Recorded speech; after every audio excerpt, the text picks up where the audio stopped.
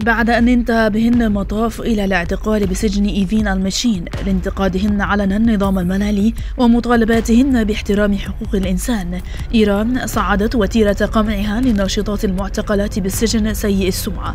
اعتبرت الحديث بقضايا حقوق الإنسان ونقد الحكومة جرما ضد الأمن الوطني فقمت من صعوبة حياة المعتقلات وظروف معيشتهن القاسية.